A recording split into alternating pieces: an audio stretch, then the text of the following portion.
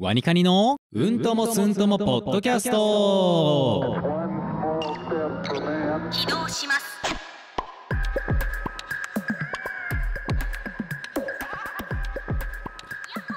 この番組は2年以上毎週 YouTube にラジオを上げていましたしかがも1時間尺の。うんともすんとも言わなかった2人がお送りする雑談ポッドキャストです。これまたうんともすんとも言わなそうですが今回もやっていきましょう、栗田匠です。鈴木太郎です。はい始まりました。じゃあやっていきましょう。はい。やっていきましょう。やっていきましょう。というかねあのですね、うん。僕自身なんですけど僕自身。はい。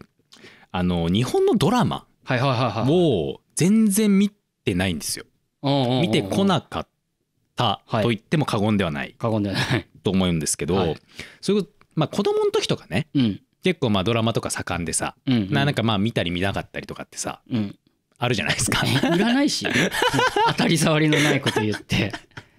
いやいやいやそのなんていうのも、まあ、全体で考えたら。誰にでも当てはまるようなこと言ってるい、けでし。ょい。や違いますよ違います。それはそれはなんちゃら効果ですけどね、うんあるよね。はい。ちょっと俺も今 なんかそう。ポマード効果みたいなポマード効果でやつあるよね。なんかねそんな匂い強くないっすよ、うん。なんですけど、うん。そのねあのーあれですよ。ドラマをねはい。あのー見てたじゃないですか。うん。でなんか何好きだった？昔の？昔の。昔っていうのはどれぐらい昔？小学校ぐらいがいいな。小学校？まあ中学でもいいけど。高校でもいい？全然ない。でも俺らもう高校でも昔になっちゃったのか。大大学でもいいい？や大学はちょっと近すぎるわ。さすがに。あじゃあちょっと記憶を遡っていくわ。じゃあ記憶遡ってうん。古いのにしよう。古いのでだから遡るから新しい順から出していくよ。出してってね、うん。出してってう、ん。中でもいいあこれよかったなっていうやつ。はいはいはいはいあれば、えっとねうん。スペッあーまあスペックいいよな。クうん。うん。えー、パパと娘の7日あー懐かしい。間うん。はい。タイガードラゴうわ懐かしうん。はい。あとは、えー、あとなんだろうな。あクロサギ？うわーあったねクロサギね。うん。あとは、あのうん前田敦子が主演やってたうん「キュート」おーアルファベットの Qに9 10でキはいはい。ュート、佐藤健とか出てたよね。そうそうそうそうそうそう、はいはい。あったねあったね。とか、はいはいはいあとはなんだろうな。もうちょい、ま、戻りたいよね。もうちょっと。でもでもでもま今どのぐらい？キューあト。いやもうキュートなんて。が中学ぐらいだよね。中学だよ本当に。だ本当小学校まで小行きたい。学校、まあ、もっとももうちょいで小学校までいける。え信太のプロデュースって？あれねギリ。ギリ？あでも小学校か。いや。でも俺が小学校だったっていう可能性はある。なんだよお前。その可能性はある。急に 急に私とあなたは年齢が違いますねよって、違うじゃないですか。どういうことなんだよ、1年違うわけですから。うん一年なんて誤差だろこれは。いやだからタオは中学1年生の可能性あるよ。マジ？だった気がするけどなでも。うわでもなんか信太パワー注入をクラスの可愛い子がやってたイメージもある。中学の。可愛い子やってたで今記憶してんだね。ううん。ん、やってた気するな、はいはい。まあそれねそんぐらいだよね。うん。言ったらね。まあそうだね。そうだね。まあそのあたりですよね、うん。まあ、僕も本当にそのあたりは好きだったんですよ、うんうんはいはい。やっぱり。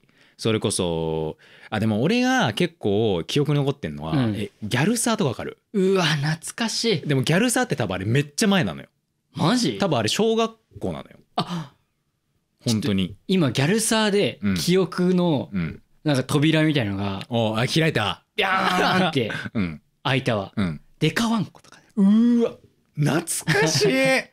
デカワンコ懐かしい。あそれこそ言ったら、イケパラでしょ？まあイケパラの時だよねイケメンンパラダイス。花盛りの君たちへ、はいはいはい、うん、もうそのまあ本当にそこだね。そうだよね。うん。メイちゃんの羊とか。そうそうそうそあとねライアーゲームもそううでし。ょうわライアーゲームな。えあれって小学校？いや小学校小学校。あ4年生極戦ね。うん。とかねそれだ。確かにその世代なんですよ。開きました。そう。で言ったらだから俺ら世代はうん。結構ドンピシャ世代なんですよ、確かにドラマが一番そみんな見てたよね。う盛り上がってた時代に、うん、そのリアルタイムで見てた世代みたいな。はいはいはい今の子たちとか多分もうそれないじゃないですか、確かにな。その配信とかあってね。そう。そっちが多分メインだろうから。わざわざ日本のドラマ見るっていうのがそうそうそ今だと韓国とかの方が強かったりするしね。そうなんですよ。そう。だから習慣になってない気がうん。するんですけど、だからそれでねやっぱ時が経ってはい。大人になってくるにつれてやっぱドラマもねやっぱ見なくなってったんですよ、うん結局、うんわかるよ。そう。でそれこそそのさっき言ったさサブスクとかが出てきて、うん。またちょこちょここう、まあ、海外の方のうん。ドラマとかを、うん。まあ、見てたんですけど、あヒーローズとか見てたな。あヒーローズ懐かしいね。ヒーローヒーローズというキーワード覚えておいてください。マシオカねあましょうか。やったーですね。夏いっすよ本当に。めちゃくちゃ懐かしいっすよ。ヒーローズとかもあったじゃないですか、ね。それでまあやっぱおもろいんですよ。うん。海外のドラマとかそれこそ韓国とかも、なんかその日本でできないこと結構やってくれるもんね。そうそうそうそう。だからすごいこう新鮮味があるじゃないですかうんやっぱり、うんそういうのもあって、まあ、内容もさやっぱすごく凝ってるしわかるわかる。やっぱ面白いなってやっぱ思うんですけど、その最近それでねほそっからこうサブスクつながりで、ううんその日本のドラマとかも民放で放送されてるドラマとかで、うん。あの前にやってたものとかもちょこちょここう配信しだしてたんですよ。はいはいはいはい。でそれをまあなんとなくね見ようと思ってうん。見たわけですよ。うん。何作品かなんですけど、はなんかねその面白いね。いやなんかね面白いんだよ。ドラマが。日本のドラマってうん面白いのかもしれないっていうことにうん。気づいてしまったの。あそなんか面白くまあ言い方悪いですよ。ううん。言い方だけど俺はもともと面白くないって思ってたの。わかる。でしょ？正直今俺その感覚結構ある。結構あるでしょ？いや俺もそうなんですよ。ドラマ見るんだったら映画見た方がそうそう俺もそう。まさにまさにそれだった、うん。からドラマを本当に無意識に見てなかった。ちょっとなんかその俺にそのドラマ享受してよそれは。いやドラマねこれね結構難しいよ でも、うん。なんか日本のドラマってやっぱうまいんだなって感じたのよ。ほうほうほうほうすごく作り方が。でなんかよく言うのはさ、うん。今のその韓国のうん。ドラマのうん。トレンディー感みたいなものはもともと日本のドラマから来てるみたいなこと言うよね。そう。ベースみたいのもやっぱあったりして、だから結構韓国側がリメイクしてるみたいな。そね。の日本のベースを持ってきたみたいな、うんうん。確かにまあそれもあるんだけど、うん。やっぱね海外とかそれこそ韓国もそうなんだけど、うん。あのネットフリックスとかね、うん。サブスクでやってるあのドラマっていうのはすごいまとまってるんですよ。まだからはワンクールとかで終わるじゃん基本的に、はいはいはいはい、まあ長く言っても16とかぐらいで終わるんですけど、その民放でやってる海外のねドラマってうん。めっちゃ長いのよ、それこそヒーローズとか。ヒーローズもそうだけどあとなんだっけあのプリズンブレイクプリズンブレイクとかあのスーパーナチュラルとかわかる？あちょっとわかんない。あのなんか悪魔退治のやつ。あ兄弟が悪魔退治するみたいなのあるのよ。ボーンだったらわかるよ、あボーンね。ボーン懐かしいね、うん。じゃあそうんあるじゃないですかボーンアイデンティティアイデンティティだったね、うん。そうそう。あれとかもあるんですけどとにかくシーズンが長い。んだわよかるわかる。で韓国も民放はめっちゃ長いのよ。あそうなんだ。めちゃくちゃ長い。チャングムとか。チャン グム懐かしい。チャングムありましたね。もともと伝え店員だったんで。あーそっかそっか。なんかそのねあのーどういうのが借りられてるかととにかく伝えたらチャングムがね見えるところにあるんですよ、そのめっちゃそうだって当時俺がそれこそ高校う生んの時にうん。バイトしててうん。何話があったのっていうぐらい。だってあんなんもうめっちゃあったでしょ。20何話確実に36ぐらいいやあった気がする。もう本当にすごいですよ。で、うん。しかもあれって要はさ DVD になってるから多分あれに何話か入ってるんですよ。確あか確かに。昔のレンタルのやつってそ1本に2枚分とか入ってたよね。そうそうなのよ。だからめちゃくちゃ量があるのよ。あそれこそ24とかは24とかさ。1個借りたら4枚入ってたもんでしょ、うんうんうん。そう。だからでそれがしかもめちゃくちゃあるあるじゃん。あるあるある。24ってだからとんでもない量なんですよ。確かに確かに。話数が。うん。だからあ面白いんだけど、うん。あのやっぱね途中で見るのをやめちゃう。はいはいはいわかる。わかる。長すぎて。今のドラマをうん。なんかちょっと見てみようって思ってもうん。その現象になるやっぱりなるでしょ、うん。そう長いなって感じて、うん面白くないなでやめちゃうのよ、うん。結局、うん。でそれは結構海外も、まあ、今も多分あると思うんですよ、はい。はいそうそうそう。サブスク以外でうん。あるんですけどやっぱ日本のドラマってそれこそ昔からそうだと思うんですけど、うん。112話ぐらいで終わるじゃん。はいはいはい大体大体ワンクール分ぐらいうでん。終わらせてるのがまずすごいなっていう。ああ完結させてるということそうすごいねその多分このぐらい見たら、うん。もうこれ以上いったら多分もう飽きるだろううんうんでそれで多分分かんないけどうまいことこう研究して、はい。多分あれぐらいにしてると思うんだよね、うん。日本のドラマって、それがまず多分そのだらさせないものだなと思ったんだけど、うん。あともうもう一個がそのまあこれね僕あの、まあ、個人的なはい。その多分見てるドラマのうん。あのその趣向になっちゃうんですけど、はい。なんかキムタクがね 木村拓哉さん。もうせもう僕らはもうキムタクが出てないドラマを探す方が難しかった難しいじゃないですか？そうだプライドとか。そうそうそう。あーヒーヒーロー。うんヒヒー。ーロー。あるじゃないですか。とかねいろいろ出てるじゃないですか、うん。この日本のカリスマ、はいはい。木村拓哉さん主演のドラマがとんでもなく面白いということに気づいてしまったんですよ。そうなんだよな。めっちゃ面白いいんです。でもあのやってた当時は僕は面白くないと思ってたの。あそう。今見始めて、えうん。ちょっと待ってこれめちゃくちゃ面白いぞ何見てんの今？いや今はな最近見たのはあの BD ってわかります？BD ボディーガードっていう。あま あやってた。B そう B でも BD は割と最近なのよ、うん。最近の方なんですけどそうだよね。プライドとかじゃないけど、うんうんうん。まあやってたやつとか、うん。そうそう。まああとシェフのやつとかね。それも割と最近ね。割と最近なんですよ、最近なんですけどやってたりとか、うん。いろいろあるんですけど、うんうん。もうねすごいよ。面白い。とにかく。面白いんだよね。本当にね面白いっていうことに気づいて。でもこれ何なんだろうと思って、うんうんうんうん。なんでこんな面白いんだろうなと思ってたら、なんかねキムあキムタクさん以外のドラマもそうなのかもしれないんですけど、うん。あのいわゆるそのじれったさみたいなのあるじゃないですか。ほその話の中で巻き起こるじれったさ。ううん。じれったさをうまく使ってるなと思ったんですよ。ほうほうほう。日本のドラマはそもそも。とと言いますと。と言いますとなんですけど、うん。その海外とか韓国って、そのシーズンがねとにかく多いっていう理由の一つに、うんあの大体1個その話の事象あるじゃないですか、うんその話の事象が出るんですけど、うんそれがすぐ終わるのよ。はいはいはいでそれ終わったとた同時のタイミングで、うん急に新キャラが出てくるんですよ。ほこれが永久に続くのようはいはいはい海外のドラマとかっていうのは。だからその話が全然伸ばさないのよ。うんうんうんもうめちゃくちゃ早く終わらしちゃう。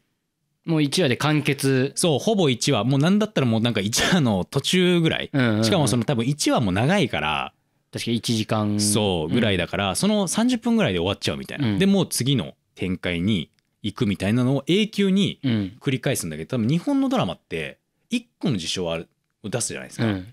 それを最終まで行くんだよね。まあまあ確かにね。そう。でそのその1個の事象で派生した登場人物たちの感情で物語が作られるみたいな感じなんですよ。うん。でも海外とかはそれが一切ないんですよ。もうとにかく話が終わったらうん。次の話に入るみたいなのの連続性だからうん。ここがなんか全然違うなとうん。思いつつこれを多分うまく使ってるのがその日本人からするとうん。よいいのかなってその見れんのかなっていう。そうそうそう一個のやつで。でやっぱトレンディーの感じっていうのはやっぱりまあキムタクさんねまあキムタクさんがなんていうのかなそのまあ合うんですよ。キムタクさんって不思議な感じするね。キムタクさん。木村拓哉さんまたはキムタクじゃない。まあそうそうですね。キムタクはもうキムタクよ。まあキムタク。さん言ってる方が失礼だよ。も はや確かにさん付けがそもそも失礼だよな、うん。だからキムタクに関しては、うん。なんかそのいわゆるトレンディー系のうん。ドラマとかまあ言ったらもうさ絶対当てがわれるじゃないですか。いやもうだってキムタクが出てりゃとりあえず見てみようかなってなるし、ね、まあなるじゃないですか。やっぱそこは、まあ、やっぱ天下のキムタクということで、うん。まあ多いと思うんですけど、うん。なんかねあれ多分ねキムタクの演技がうん。あのね面白さ倍増させてるんですよ。ほっていうことに気づいたんですよ、ううん。そうだからまあ最初の方に言ったんですけど、うん。キムタクさん以外もそうかもしれないって僕言ったんですけど、うん。違いましたわ。多分あれキムタクが主演じゃないと無理っすね。成立しないですねこれ。確実に。なんかねそのいわゆるじれったさみたいな。うん。なんかその日本人でよくあるじゃないですか。それこそね、うん。まあ、中学時代高校時代も思い出すとなんですけど、うんうん。まあ、好きな人がいますと。うん。誰でもありますよ。うん。で好きだって言えないじゃないですか。はいはいはいはい。言え言うまでの時間があるじゃないですか。うん。わかります？これ、うん。いろいろ時間あるんですよ。うん。あれはやっぱ日本人だけなんですよ。あそうなの？なんかそうらしい。いやそうらしいです。ソースあるのかそれ？それはエビデンスは分かんないですけど。エビデンスは根拠とか。根拠、うん。エビデンス今から言います、うんソースはないです。ソースある ソースはほぼないですけど、うんなんか日本人はそれがあるらしいんですよ。ほうほうほう。で海外の人からしたらそれはあんまり分かんないんだって、うんやっぱ好きだなと思ったら好きだってその瞬間に伝える。言っちゃえばいいじゃんっていう。言っちゃえばいいじゃん、うん。だから海外のドラマは終わるんですよ。はいはいはい。それで、ね。そうすぐ終わる。だから海外の人たちはその海外のドラマを見て多分それが普通だからうん。面白いってなるんですけど、日本人からしたら多分あんまついていけないんですよそそこの感情の多分流れが早いよ。早すぎてうん。多分分かんないってなっちゃうんですよね、うん。えーなんでこれこんな早く終わっちゃうのっていう状態になるけど日本人はその間があるから、うん。その間をそのまま多分ドラマを持ってきてるんですよ。はいはいそのじれったさみたいな、うん。なんか多分これを言えばいいのにうん。なんか言わねえよみたいな、あーみたいな感じうんうん。うんうんでドラマとかも終わったりするじゃないですか。まあ、もはやそこにキュンがあるみたいなそうそうそうそう。でもあれになるのってもうほぼ日本だけらしいんですよ。へえだから多分トレンディードラマとかうがん。結構ベースにされてるんじゃないかなと思ってて、はいはい。それをやるのが多分日本のトレンディードラマだけだから、うんうん。海外とかが多分参考にしてるんじゃないのかなとうん。思うんですけどそれを多分出すのが一番うまい。日本は。日本そう。で多分キムタク、ああなるほどね。そうキムタクしか多分出せないのよそれがだキムタクさんの演技キムタクのね、ーじゃあキムタクがじれったいんだキムタクめっちゃじれったい。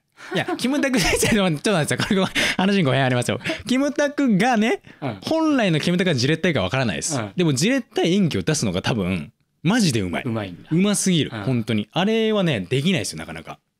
ちょっと栗田くじれったさ出してみてよ、いや、じれったさってだってむ、ね栗田くとキムタク出していや、そうそうだ、ほぼ一緒ですよ。もいう対の存在だもんね。ほぼ対の存在として、そうなんですよ。だからもう本当にじれったさっていうかさ、うん。そうなんかなかなか言えない気持ちみたいな、うん。あるじゃないですか、やっぱり。こう、なんか好きだという気持ちで。確かに栗田くは、うん、いざうん、ちょっと本当に気になってるかもみたいな人とは、ううん。まく喋れないもんね。お前さ、そのバラすなよ、お前、そういうことを、ラジオを通して。なんか栗田くって舐めてる人か舐めてない人みたいな感じなんだよねちょっと待って待って、お前、もうお前言葉が過ぎるぞ、お前。好きいな人のことは舐めてないんだよや、それは好きですから、そうですよ。だからなんかちょっとうん。選んでんだよね手段をいっぱいいやいや、そのだからやっぱり、それはさ、いっぱい考えた上で、うんその栗田くのさその脳に入ってるさ、うんまあ、CPU はい、CPU さ、ね。すっごい遅いじゃん 遅いっすよ。とんでもなく遅いっすよ。あの Windows でいうところのさ、Core 5ぐらいはい、もうほぼ初期ですよ、それ。もうだから、うん。Windows7 うん。うん。より全然前だと思うんだうん。うよね、ん。ぐらいの処理速度じゃんはいはいはい。まあまあまあ、そうですね。でも、うん舐めた人の前だとその処理速度とかも関係ないその脳を使ってない脊髄で喋るじゃん多分 まあそうですね。脳には伝達しないですね。そう適当に会話するみたいな、うんうんそれあるよね、うん。うん。それまあありますけど、まあそれでありまですけど。それがじれったさでしょ。いやそうそうそうそういうことそういうこと。じれったさのそう体現ですよそれ,、うん。それ言語化してくれてますよ、うん。完全に。みたいなのをそう表現するのが一番まではキムタクいや晴れるよ栗田君。いやこれリアルがそうなんだもんやでもそれはリアルだから。